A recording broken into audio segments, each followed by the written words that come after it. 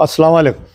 میں Amjad Ullah Khan spokesman M B T جیسا کہ آپ لوگ جانتے ہیں کہ دارالامان پر جو پرجا دربار چلتا ہے، وہ دیر رات دیر تک چلتا ہے۔ تقریباً رات کے ڈیڑھ بج رہے ہیں۔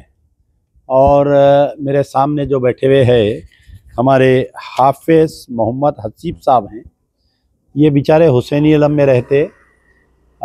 یہ اپنے ماں باپ کو ایک لوتے ایک ہے، ایک ہی بیٹے ہے اور ایشو یہ ہے کہ یہ بیچاروں کو ایک لیپ ٹاپ ہونے کا ہے، جس کی قیمت چوالیس ہزار، forty four thousand four hundred and ninety یہ بتا رہا ہے۔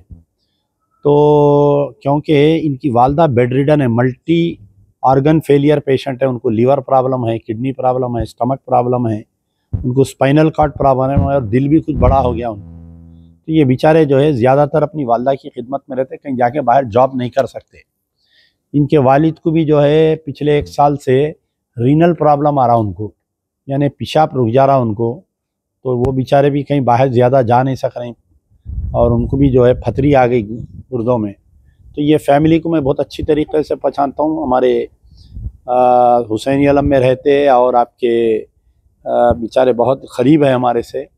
تو حافظ صاحب کی مدد کریے۔ اللہ آپ کو اس کا ثواب جاریہ دیں گا۔ اگر ان کو لیپ ٹاپ مل جائیں گا تو حافظ صاحب جو ہے ٹیوشنس پڑھائیں گے عربی کے۔ تو ان کا نمبر پھر سے میں بول رہا ہوں، nine zero five two three two, three zero four four ان کا نمبر ہے۔ شکریہ، یار زندہ صبح